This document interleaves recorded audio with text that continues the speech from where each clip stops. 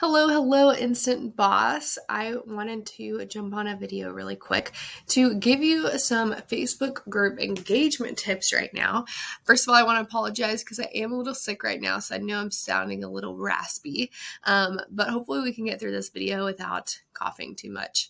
Um, the technique I want to show you today is one that I've created for myself in my own group, what I've seen that works and tried and tested tips that work for Facebook group engagement right now. And that is the R E A L S, the Reels technique for Facebook group engagement. So we're going to walk through what each of those words stand for and how they're going to help you with group engagement.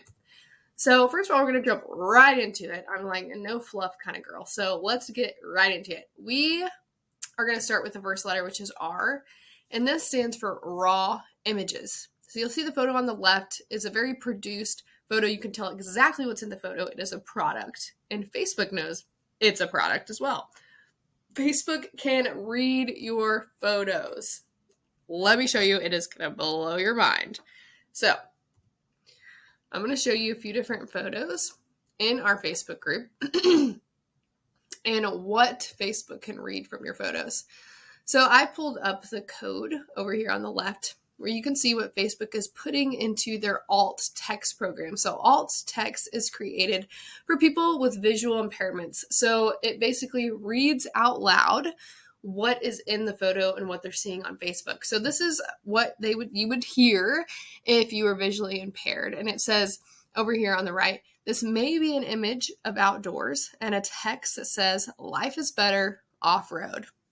And isn't that exactly what's in the photo, right?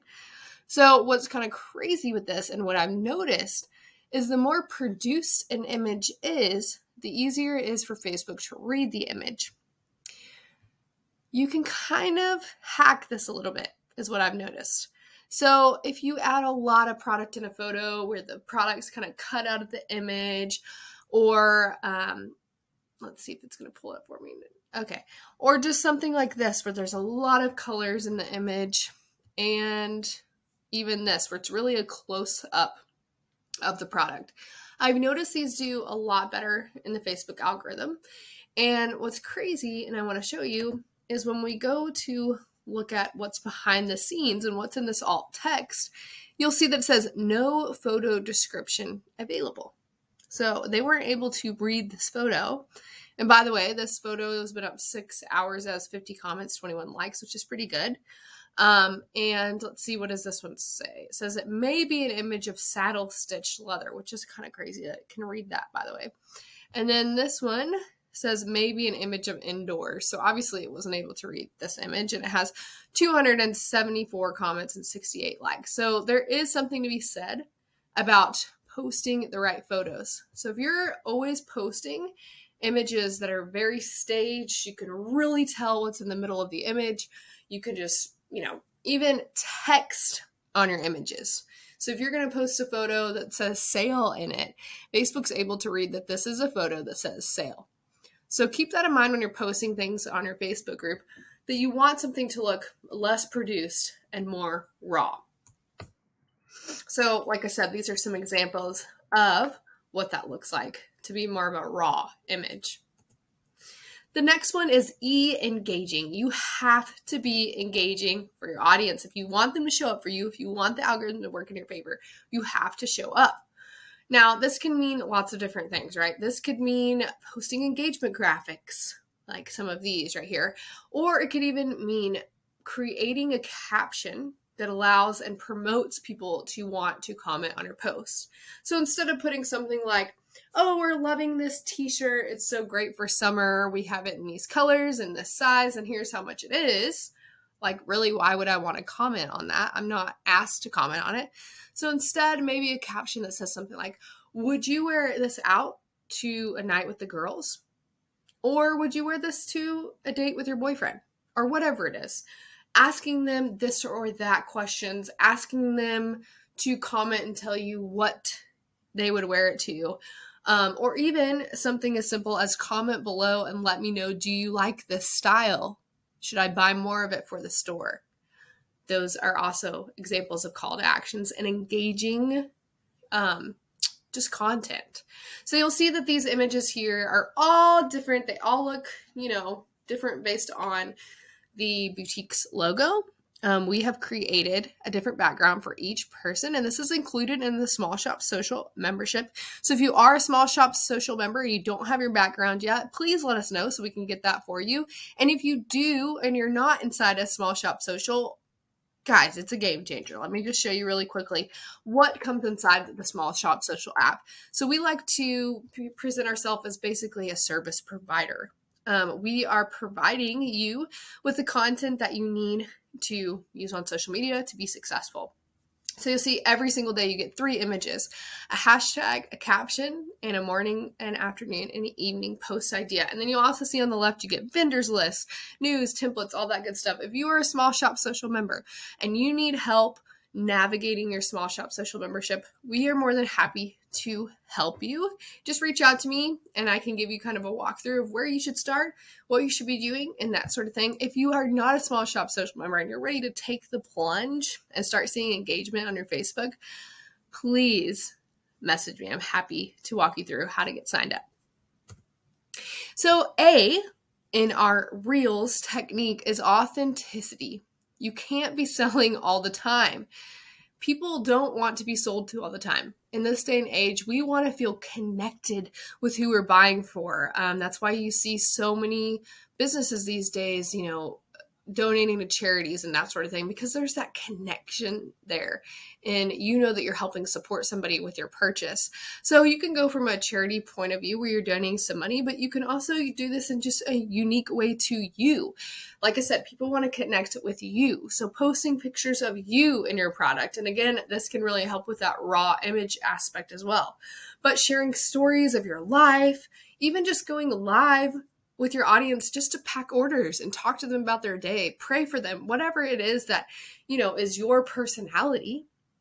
Do that and post photos of you in the product and explain how they could feel if they wear it. Oh my gosh, this feels so soft. It's so stretchy. Like, oh, I could just hang out all day long in this at my house, relaxing, watching Netflix. You need to explain to them why they need this product. You really have to sell, but in an authentic way that makes sense for you.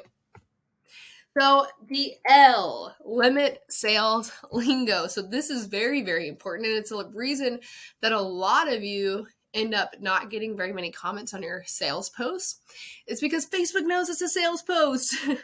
Facebook can read your posts based on the words that you're using and deciding, they decide if they want to show it in the algorithm do they want to show sales posts? They know that, you know, people on their platform don't want to be sold to all the time. So they're not going to show those all the time. So the more you can mask that you're selling something, the better. Like, for example, like I said before, saying something like, Would you wear this out with the girls or would you wear it out on date night? Where would you wear this? Or something like that. And what's crazy about some of the words that you use is it can really be a lot of things. It can be um, dollar symbols, it can be the word sale. It can be um, sometimes even the word wear. Would you wear this? Because they know you're talking about something you're selling. So you really have to get creative in the words that you're using. One th- other thing I want to s- just touch on really quickly is when you put a ca- uh, link in your caption. So when you say, here's the link to purchase, and you put a link in your caption, you are lowering your reach significantly if you notice and you're in my Facebook group, you'll see that I rarely ever post anything that has um, the link in the caption. You'll even notice that with our wholesalers too. So they're not doing it either because I've trained them not to do this because I know it limits their reach. And what I mean by that is if somebody has the link to outbound clicked to your website, it's great, right? They're going to purchase and that sort of thing. They're also taken off of Facebook and Facebook wants them to stay on Facebook. So, whatever link post, they just don't get good engagement for that reason, is what I'm suspecting. So, if you can get creative, obviously it's going to be more work, but having people comment below, let me know if you need this or something like that. And when they comment below, then you respond to each comment with the link. You do have to be very careful with this because if you comment the same thing over and over and over again, you're going to get in trouble, get put in Facebook jail. So you have to get creative with the way that you're responding to people if there are a lot of comments on your post. The last letter of the Reels technique is scheduling. And one of the biggest things that frustrates me that I see all the time in the group is people saying, no, don't schedule it, lowers your reach. Wrong. No, it doesn't. It doesn't lower your reach. It actually helps you in so many ways if you're doing it right. And if you're using a third party scheduler, something like SendShare um, or Hootsuite or Later or these types of things, yes, it can lower your reach because you're connecting an outbound app into Facebook. But if you are actually using the tools that Facebook has given you for free to schedule, they love it. There, there's no reach lowering, there's nothing like that. And guess what? You're setting yourself up for success because we all know we're procrastinators. If you're anything like me, you're a major procrastinator. And the last I'm gonna say, oh, I'll do it tomorrow. I'll post that picture tomorrow. Uh, I'll find that engagement post tomorrow. I'll post it then, or I'll post it later. I'm gonna take a nap right now. We can push it off and push it off, but if we force ourselves once a week, even or once a month, you could do it all at once. Once a week, schedule out your content. At least get your engagement posts out, or at least get your new arrivals out. Whatever it is, get that on the schedule. And then guess what? You can sit back and just respond to comments you don't have to worry about the posting part. It's already done. You could go hang out with your family for an extra hour. It's amazing. It's life changing if you get it right. So, that is the end of our um, Reels technique. But I did want to add one more thing. And sorry, I'm out of breath. Like, this cold is crazy. Um, but the last tip I wanted to give you is use the group questions to your advantage. So, what I mean by that is when somebody requests to join your Facebook group, you can ask them to answer three questions. And I suggest that those three questions be Would you like to be added to our email list? And we'll give you an extra 10% off your next order, or some kind of incentive for joining the, your email list. Um, the next one should be Will you want to opt into our tech services? Drop your phone number below, and we'll send you some kind of discount code or whatever that is. Um, and then the last one, if you have an app, I would suggest, hey, did you know you could shop our new arrivals straight from our app and be the first to know? Our app is blah, blah, blah in the App Store. Let me know in the comments or in the reply if you've downloaded it or not. And those could be your three questions. So, already from the bat, you're getting their phone number, their email address, and you're getting them to download um, your app. If they don't do all three and they don't answer the questions, obviously you still let them into the group. But if they do answer those questions, now you have extra avenues of reaching out to these people outside of Facebook. I hope this really, this quick little training helps you to get more Facebook engagement. That's my whole goal here. I know the power of Facebook groups and what they can do for your business. They can really help sell sales overall in your business. And I strongly believe in using Facebook groups, by the way, more than pages. And I love, love, love giving tips as they come. We all know that the Facebook algorithm is changing all the time. What's working right now might not work next week. And that's why inside of Small Shop Social, I am always telling my members, hey, this is changing. This is what's coming. This is what you need to be doing. Try this out. What do you think? And we're always testing and working it out together. That's one of the perks of being a member. Again, you also get mentors that are successful in the boutique industry um, that can also answer your questions when it comes to other things that are outside of social media and outside of you know my expertise they can help you with those questions so it's really an awesome opportunity to be part of a membership that is a game changer. So if you need any help on signing up to be a Small Shop Social member, be sure to let me know. You can also head to instantbossclub.com for more information on Small Shop Social. And if you are a Small Shop Social member and you need more one on one help, just reach out to me. I am more than happy to help you and help answer any questions you have. I'll talk to you guys later.